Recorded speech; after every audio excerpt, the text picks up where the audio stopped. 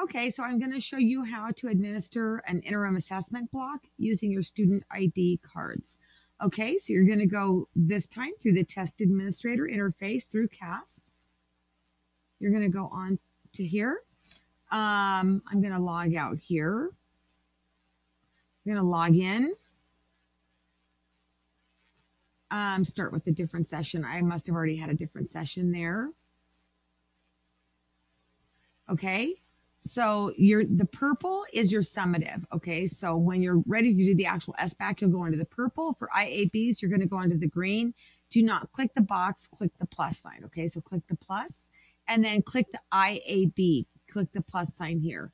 And then let's do the ELA. So I'm going to click the plus sign, click your grade level plus sign, and then click the box you want. So let's look at brief write. Okay, click OK for the security reminder and then start operational ses- uh, session. All right, then you'll get the session ID. Uh, for the kiddos, you'll give them the Chromebook and then um, they'll click, they do not log into the Chromebook. They just click on apps and click on air secure test.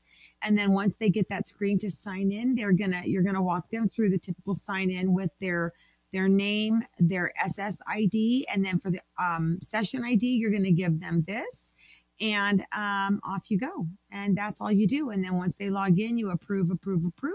And then when you're ready to stop the session, you can stop the session and then they can always resume it at another time. Or you can just um, have them go all the way through all 16 or however many there are. All right. Good luck.